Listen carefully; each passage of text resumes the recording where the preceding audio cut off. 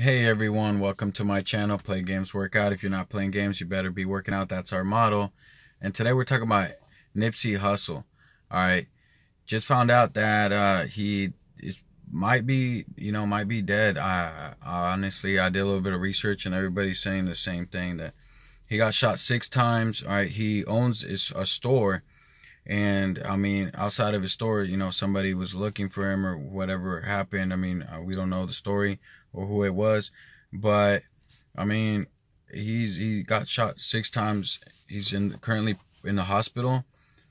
I mean, but I mean, he tweeted he tweeted or, or like you know let out a message not that long ago saying that you know having enemies is a blessing.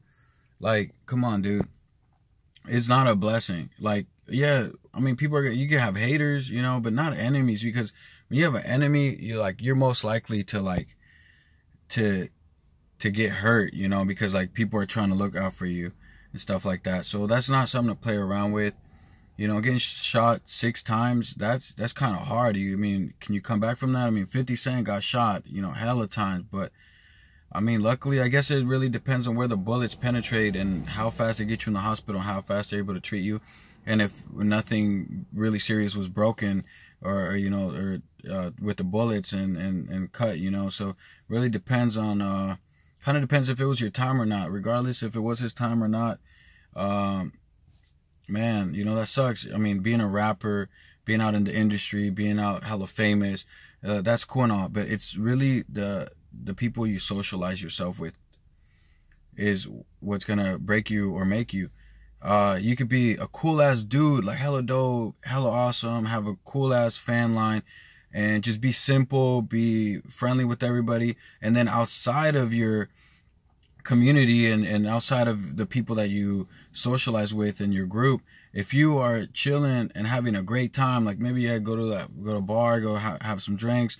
hang out with family, friends, friends and family, you know, have a positive, uh, positive uh, gathering with everybody else you're going to be great. You're always going to live forever, hopefully. But if you have, like, you're socializing with a bunch of negative people and, people that are bringing you negative stuff, like, like, um, like, you know, you're dealing with drugs, you're dealing with money, dealing with like any illegal stuff, man, that, that, that's gonna, it's gonna hurt you a lot in your life, you know? And MC, you know, um, Nipsey Hussle, that dude, that dude, you know, has great music, great content. Everybody, I mean, he has a great fan line and a lot of followers. But honestly, us, we only know the good side of him.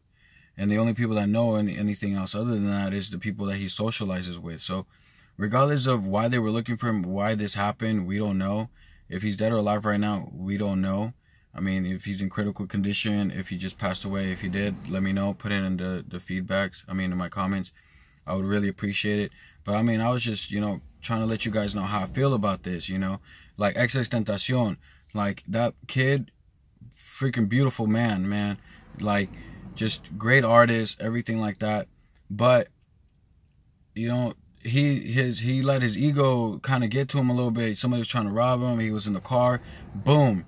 They shot him because over a bag, bro. Like you have more money it, than than that bag. You could have let that bag go like, hey, here you go, bro. Like, but yeah, I get it. He he wanted to be strong inside his heart, you know, right here. He wanted just to like not show any weakness. Like, I know, bitch. So at the end of the day, what matters is if if uh is you know sometimes you gotta let your pride down. But at the end of the day, just just you know be a positive, be as positive as you can, and just be strong and and have a great heart and do good things for everyone. You know, sometimes I know we don't deserve it, and bad things happen to good people, and I hope that you know this is the case. But other than that, you know, I I hope that uh, you know you guys uh, really understood where I'm coming from and, and my opinion and, and how I feel.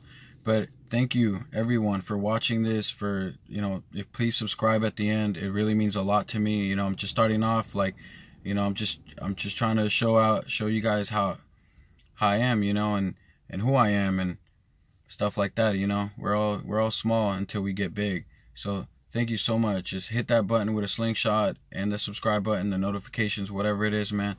Whatever uh, stuff I want to talk about, man. I'll let you guys hear it out, man. Uh, like like I just cut my hair just recently, so this is something new. But uh, just you know, keep him alive in your heart, in your uh, in your soul. Just you know, listen to his music and stuff like that. He's he's a very inspirational guy. I mean, anybody can make it. Uh, just you know, keep your crowd small, your fans big, and your friends like a handful of friends. That's it. You know, and keep your families closer than anything, man. Do everything with your family. Chill with them. Do whatever you can. Go out with them. Like even you know, get a girlfriend or a boyfriend, whoever whoever you are. Like spend as much time as you can with them, and and stay out of the the negative uh, negative world. You know, music is beautiful, but music can also hurt everyone else. And by what I mean is that is because it's pussy, money, weed. And don't let that drive you. Listen to it, love it, but don't be about it. All right? And and uh, only if you're a rapper, I guess. But have a great day and enjoy yourselves.